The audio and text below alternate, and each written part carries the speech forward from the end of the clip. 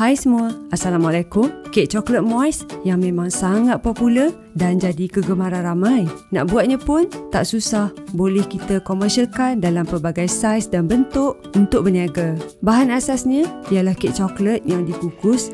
Hasil memang sangat lembap dan lembut. Kalau nak bakar pun boleh. Kemudian kita sediakan pula adunan coklat ganache untuk dituang ke atas kek coklat. Kombinasi yang sangat terbaik dan boleh hias mengikut kreativiti masing-masing. Resepi Cik Nom ni memang akan hasilkan kek coklat moist yang premium rasa dia walaupun kita guna bahan-bahan yang biasa je, tak terlalu mahal. Kalau nak tahu, ha, jangan tengok video ni sampai habis, okey?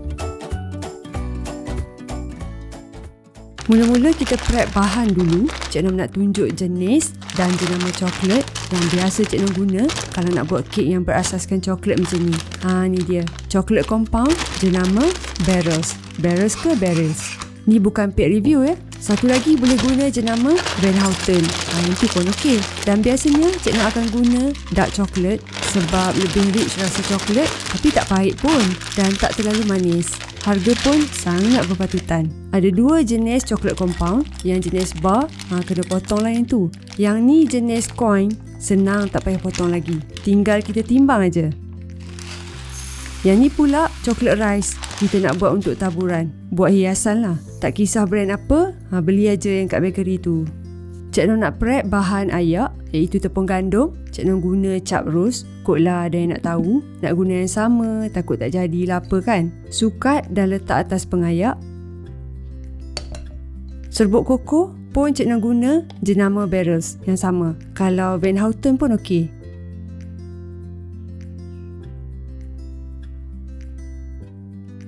Baking powder pun kita ayak sekali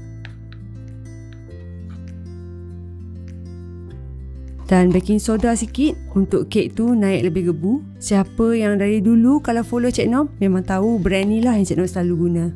Untuk naikkan rasa coklat, garam sikit je okey. Kemudian kita ayak semua bahan ni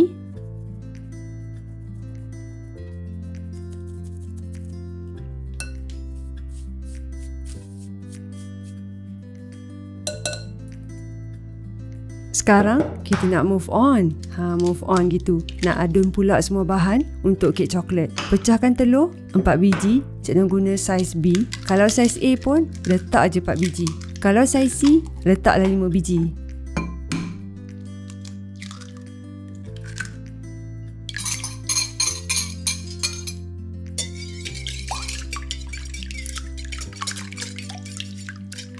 Pukul telur dengan gula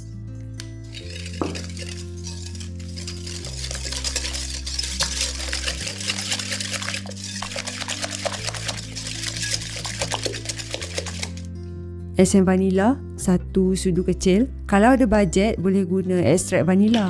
Pukul sampai jadi warna kuning pucat.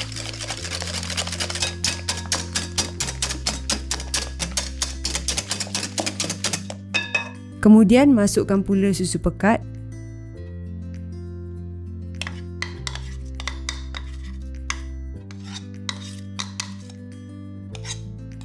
Kacau lagi dalam 2 ke 3 minit Cik Nom tak guna mixer pun selalunya guna hand whisk saja. Okey, masukkan bahan ayak sikit-sikit ya. Bahan kering lah kan. Kemudian kacau. Kacau ni kalau nak senang sebati, kita start kacau daripada tengah sampai serap tepung dan kemudian baru kacau ke tepi. Tambah lagi bahan kering dan adun sebati.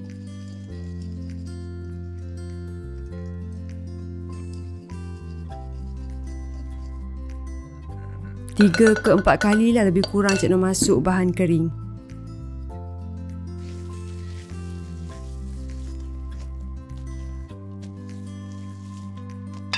Kemudian, ha, bila dah sekata macam ni, tuang masuk susu fresh ataupun susu full cream. Ikut sukalah yang mana nak guna.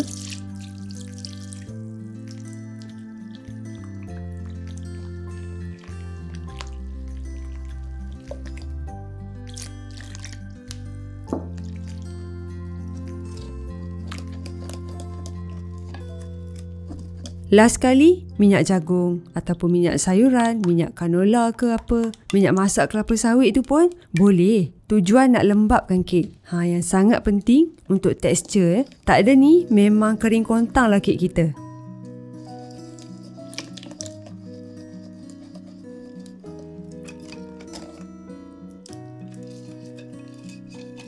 Adunan memang cair macam ni. Jangan risau. Eh, ada lagi.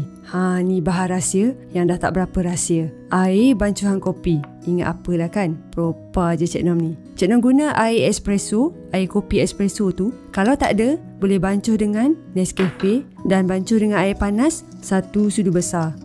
Kopi ni akan buat bagi rasa kek coklat kita tu naik rating dia ke 10 bintang. Walaupun tak guna coklat mahal, ha, percayalah. Dah siap adun? Ni cikgu nak tunjuk lah bekas-bekas yang boleh guna untuk kukus. Ni saiz 450. Ha, nampak tak ke tak nampak? Yang kecil ni saiz 350. Kat kedai bakery memang ada jual. Kalau nak bakar, guna bekas aluminium eh. Sendukkan masuk dalam bekas agak 3 per 4 penuh.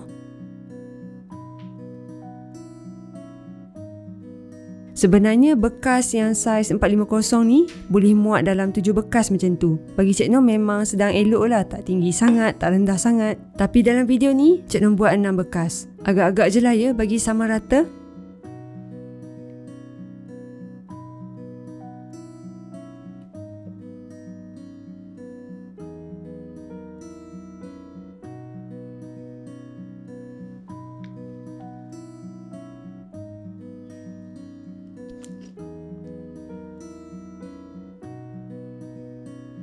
Dah siap dah, boleh kukus selama 15 hingga 20 minit ataupun sampai masak. Nanti kita test dengan lidi.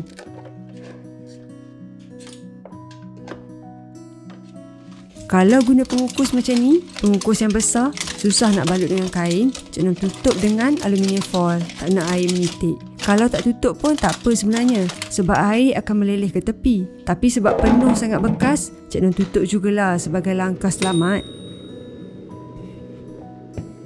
Kalau pengukus klasik, wajib kena balut kain eh.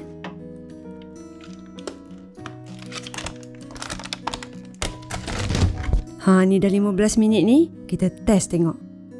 Basah lagi lidi. Jadi Cik Nok akan sambung kukus dalam 10 minit lagi. Okey, kita test mula. Dah bersih lidi bila kita cucuk. Ha, kira dah masak lah. Boleh sejukkan kek. Kalau nak bakar, rujuk description eh, ada nota untuk bakar guna oven. Next, kita sediakan cairan coklat ganache. Yang ni nak tuang atas kek nanti. Guna mangkuk kaca yang tahan panas. Dan mangkuk tu, jangan bagi kena permukaan air. Kita nak masak coklat ni dengan wap air panas je. Bukan rebus atas air. Ha, tu yang coklat duk jadi berketul lah. Tak cair lah, keras lah. Sebab coklat boleh rosak kalau kita masak dengan suhu yang panas. Panas sangat lah maksudnya. Kacau sampai coklat dan butter cair sekata. Tujuan campur butter ni nak bagi coklat lembut berkrim sikit dan tekstur tu jadi berkilat. Untuk jimat kos nak buat ganache, maklumlah bahan mahal-mahal sekarang ni boleh pengsan siapa yang berniaga kek tu kan. Cik Nom akan ganti dengan susu cair. Biasanya guna whipping cream. Ha tak payah. Kali ni kita guna susu cair je. Sebab dia dalam bekas kan kalau cair sikit pun tak apa ganache ni. Coklat pun dah cair sepenuhnya, dah halus tekstur. Tutup api dan boleh tuang susu cair. Bahan rahsia, jangan lupa satu sudu besar air kopi. Propa betul Cik Nom ni kan? Kalau tak minum kopi, boleh skip ya. Tapi kalau letak lah, memang anda takkan perasan pun. Punya dah cakap tak minum kopi, tapi bila makan kek ni, mesti akan cakap sedap-sedap. Ha, kacau sebati. Kalau letak whipping cream, tekstur tu lebih cantik lah. Tapi dari segi rasa, tetap mantap you, jangan risau. Okey, dah siap? Kek tadi dah sejuk, dah bersusun elok ni ha. Boleh tuang coklat ganache sampai penuh. Kalau Cik Noh memang suka letak penuh-penuh. Macam Cik Noh cakap tadi, resepi ni boleh dapat 7 bekas saiz 450. Coklat ganache pun memang cukup dah boleh buat berniaga. Cuma Cik Noh tak buat sebagai edisi niaga dengan kiraan kos tu. Tak tahan tengok harga barang asyik naik sebab terkesan dengan inflasi kan. Last sekali, tabur dengan coklat rice sebagai hiasan. Nak hias dengan yang warna-warni tu pun okey. Kalau untuk buat sebagai buah tangan untuk majlis kahwin ke atau majlis hari jadi ke, seeloknya guna bekas yang lagi kecil. Jimat kalau buat sendiri. Kalau simpan dalam peti sejuk, boleh tahan dalam seminggu ke dua minggu. Ha, okey je. Kek ni sangatlah lembut dan moist, tak padat sangat. Bila kita makan dengan lapisan coklat ganache tu, sedap tak terkata. Manis pun dah cun bagi Cik Nom, tak terlalu manis sangat kalau kita guna dark coklat lah. Okey, sekian dari Cik Nom untuk kali ini. Selamat mencuba dan jumpa lagi pada resepi akan datang. Bye!